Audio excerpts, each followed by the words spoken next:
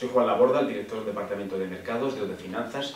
Lo que vamos a ver es la presentación del módulo de instituciones de inversión colectiva.